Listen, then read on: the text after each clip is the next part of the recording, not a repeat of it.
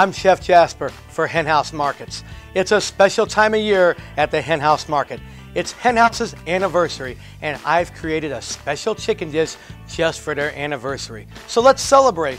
We start off with some fresh chicken breast here, and all we need to do is add some butter to our pan and just make sure it's just well greased. And you really don't have to have the butter melted because it will melt in the oven, but we don't want the stick, so just spread that butter around. We'll add our chicken breast to the pan and then we're gonna combine and prepare a sauce that's absolutely delicious and quite simple. We start off with some cream. We add some sour cream,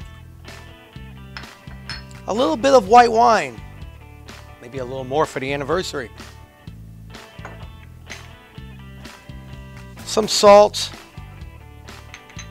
a little bit of cracked pepper, of course. I like a little bit of cayenne pepper. Maybe a little paprika too. Some fresh chives. Combine this all together. We're gonna make almost like a sauce, but we want it more like a paste. So we want it a little thick. And don't matter, it does not, doesn't really matter if it's not all mixed together because really we're just gonna spread this on. And here we go. So we like that sour cream a little chunky.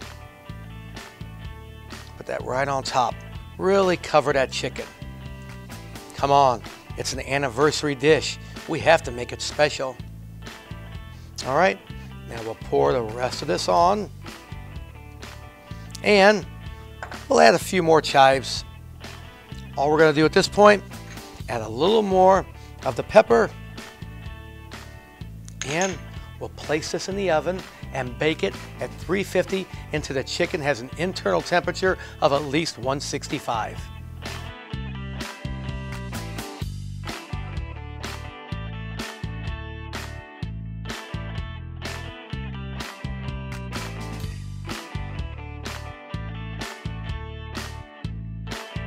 Ah, the chicken is complete. Right out of the oven. Hen House's anniversary chicken all I'm gonna do is add some more chives right on top and serve it just like this. Maybe you wanna put it over some mashed potatoes, maybe some boiled rice, or just serve it with some fresh vegetables. And there you have it, anniversary chicken. Happy anniversary, Henhouse Market.